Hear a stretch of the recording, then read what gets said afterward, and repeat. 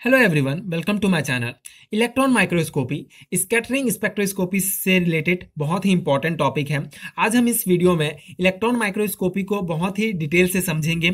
इसका basic introduction देखेंगे, इसका बेसिक वर्किंग फ़ंक्शन देखेंगे। साथ ही साथ आपको एक हैंडमेड नोट भी प्रोवाइड करूँगा, जो आपके सेमेस्टर एग्ज़ाम के लिए बहुत ही यूजफुल होने वाला है। तो वीडियो शुरू करते हैं।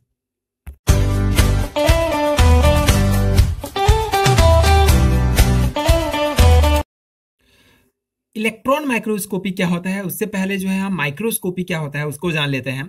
Microscopy is the technical field of using microscope to view objects and areas of object that can not be seen with the naked eye तो बेसिकली माइक्रोस्कोपिक जो है एक टेक्निकल फ़ील्ड में जो हम माइक्रोस्कोप यूज़ करते हैं तो माइक्रोस्कोप में जो माइक्रोस्कोप का जब हम माइक्रोस्कोप में किसी भी सैंपल का हम अध्ययन करते हैं तो जो टेक्निकल फ़ील्ड होता है, उसको हम माइक्रोस्कोपी कहते हैं। तो माइक्रोस्कोपी बेसिकली जो है, एक प्रकार का टेक्निकल फ़ील्ड में यूज़ होने वाले माइक्रोस्कोप के प्रयोग को, जो वर्किंग फ़ंक्शन होता है, उसको हम माइक्रोस्कोपी कहते हैं। ये जो है एक प्रकार, इस, इसके द्वारा माइक्रोस्कोप के द्वारा हम जो भी व्यू ऑब्जेक्ट होता है हमारा, और जो एरियाज़ होता है ऑब्जेक्ट का, जो भी सैंपल का, उसको जो है, जिसको हम जिसको हम, जिसे हम नग्न आँखों से नहीं देख सकते हैं, उसको हम इलेक्ट्रॉन माइक्रोस्कोपी में या किसी भी माइक्रोस्कोपी में, चाहे वो ऑप्टिकल माइक्रोस्कोपी में हो, उसको हम जो बड़े इमेज होते हैं, उसको छोटे इमेज के रूप में जो है देखते हैं और उसका अध्ययन करते हैं। तो बेसिकली माइक्रोस्कोपी माइक्रोस्कोप जो है तीन प्रकार के होते हैं। पहला हमारा आप देखेंगे कि ऑप्टिकल माइक्रोस्कोप ऑप्टिकल माइक्रोस्कोप उसके बाद इलेक्ट्रॉन माइक्रोस्कोपी उसके बाद स्कैनिंग प्रोब माइक्रोस्कोप तो बेसिकली हम जो है इंडिविजुअल रूप से यहाँ पे इलेक्ट्रॉन माइक्रोस्कोपी के बारे में यहाँ अध्ययन करेंगे। तो इलेक्ट्रॉन माइक्रोस्कोपी जो हमारे सिलेबस में है, वो ऑप्टिकल माइक्रोस्कोप से किस प्रकार अलग है? बेसिकली हम इलेक्ट्रॉन माइक्रोस्कोपी का प्रयोग तब करते हैं जब जब हमें ज़्यादा रिसोल्यूशन पावर की आवश्यकता होती है। जैसे कि ऑप्टिकल माइक्रोस्कोप का जो रिसोल्यूशन पावर होता है, वो थोड़ा कम होता है इलेक्ट्रॉन माइक्रोस्कोप की तुलना में। मतलब अगर हम कोई भी सैंपल लेते हैं, उसका अध्ययन करते हैं तो इलेक्ट्रॉन माइक्रोस्कोपी में जो है हम उसका स्ट्रक्चर को ज़्यादा ही डिटेल से देख सकते हैं। उसके जो कंपोनेंट्स होते हैं, उसके जो कौन से एलिमेंट्स से मिलकर बने हुए हैं, उसके एटम्स या फिर सरफेस टोपोलॉजी को ज़्यादा ही अच्छे से जो है हम अध्ययन कर सकते हैं ऑप्टिकल माइक्रोस्कोप की तुलना में।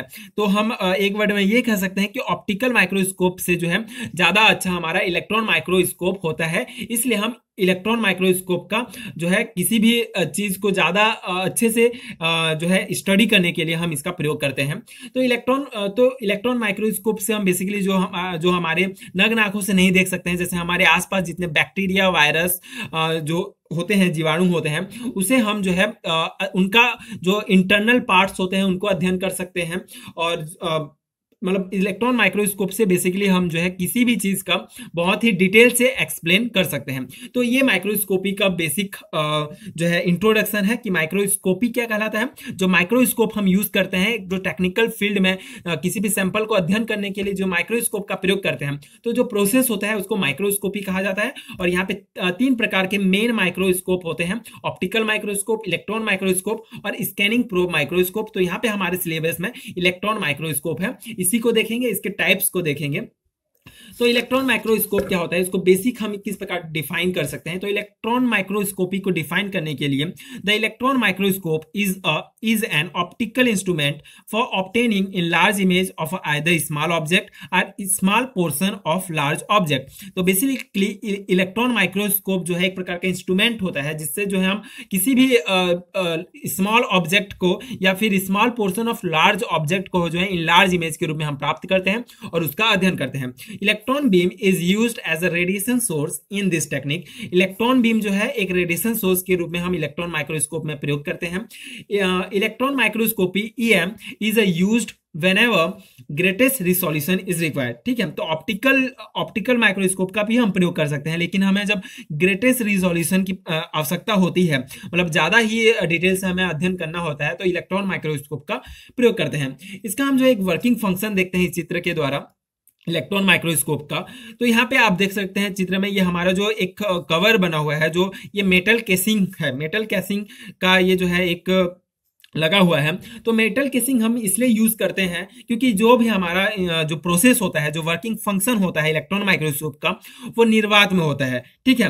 वो जो है हमारा वैक्यूम में होता है। तो वैक्यूम को बनाए रखने के लिए ये हम मेटल केसिंग का यूज़ करते हैं ताकि जो बाहर की हवा होती है, वो अंदर ना जा सके और जो हमारा इलेक्ट्रोमैग्नेटिक रेडिएशन जो जनरेट होता है, वो इफ़ेक्ट ना हो या फिर बाहर के हवा के कारण जब यहाँ पे हमारा इलेक्ट्रोमैग्नेटिक रेडिएशन जनरेट होगा तो ये फैले मत बाहर के हवा के कारण। इसलिए हम निर्वात का प्रयोग करते हैं और उस निर्वात बनाए रखने के लिए हमारे इंस्ट्रूमेंट को हम मेटल केसिंग का यूज़ करते हैं।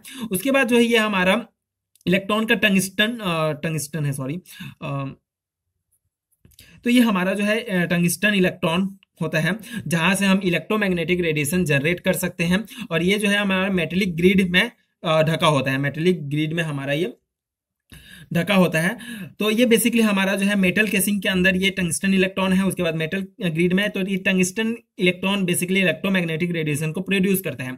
उसके बाद हमारा नेक्स्ट स्टेप में आता है एनोड एनोड क्या करता है? जो ये जो है एक्सेलरेशन का काम करता है। एक्सेलरेट करता है जो इलेक्ट्रोमैग्नेटिक जो बीम हमारा ये बाहर निकला है, इसको एक्सेलरेट करता है मतलब इसको जो है गति प्रदान करता है आगे बढ़ाने के लिए। उसके बाद नेक्स्ट हमारा जो पार्ट है इस स्पेक्ट्रोस्कोपी का, वो है मैग्नेटिक कॉयल तो मैग्नेटिक कॉयल क्या करता है? मैग्नेटिक कॉइल मैग्नेटिक कॉइल जो बेसिकली हमारा जो इलेक्ट्रो इलेक्ट्रिक बीम होता है, उसको पैरल लाइन में मतलब आगे भेजता है, इकट्ठा करके ऑब्जेक्ट में फेंकेगा।